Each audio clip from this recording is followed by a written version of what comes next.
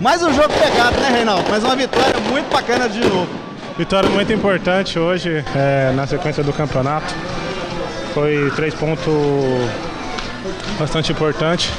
É, a equipe vem bem, vem, vem jogando bem. E graças a Deus saímos com a vitória, é o mais importante. Beleza, beleza.